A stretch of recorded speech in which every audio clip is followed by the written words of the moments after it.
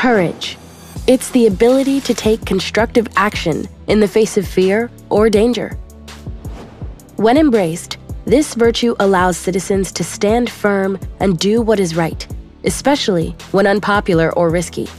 This is the story of Elizabeth Eckford, a 15 year old student whose courageous spirit challenged segregation. On September 4th, 1957, Elizabeth got ready to go to school in Arkansas. That may not seem like such a courageous thing, but Little Rock High School was until recently an all white school, and Elizabeth's attendance angered many protesters who were determined to stop her.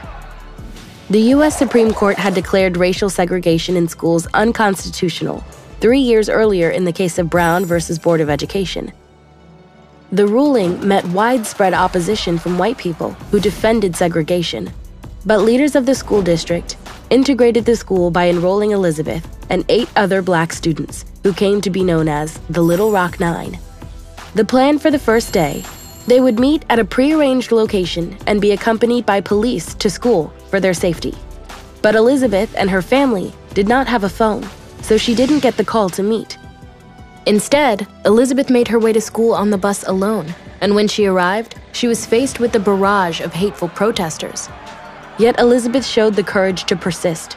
Twice she tried to enter, but at each door, the armed Arkansas National Guard, who she thought were there to help her, instead blocked her way.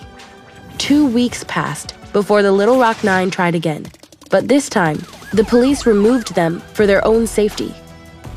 On September 24th, President Eisenhower dispatched federal troops, the 101st Airborne, to protect the Little Rock Nine. Elizabeth and the other students' courage paid off, and the school was integrated.